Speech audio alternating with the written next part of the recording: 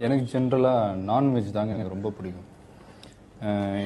இப்போ கொஞ்ச நாள் என்ன ஆகிப்போச்சு இந்த டியூஸ்டேயும் ஃப்ரைடேயும் வெஜிடேரியன் தான் பண்ணணும் அப்படின்ட்டு ஒரு ரூல் போட்டாங்க வீட்டில் அதனால் அந்த ரெண்டு நாள் மட்டும் நான் வந்து ஷூட்டிங்கில் சாப்பிட்றது The man with the black right here.